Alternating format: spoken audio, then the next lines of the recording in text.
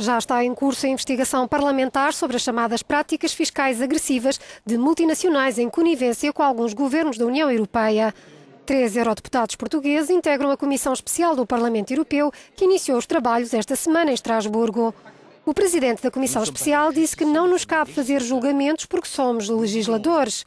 Queremos alargar a investigação feita pela imprensa e que se centrou sobretudo no Luxemburgo. Há provavelmente cinco ou seis Estados-membros nos quais a situação é anormal. Um dos líderes dos verdes europeus preferia que tivesse havido uma comissão de inquérito e não apenas uma comissão especial que tem menos poderes, mas pede resultados claros.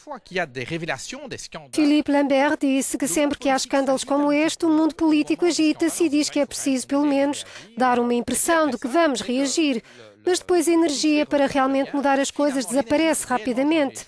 O objetivo da Comissão Especial é exercer pressão constante sobre a Comissão Europeia e os Estados-membros para que se mudem efetivamente as práticas fiscais.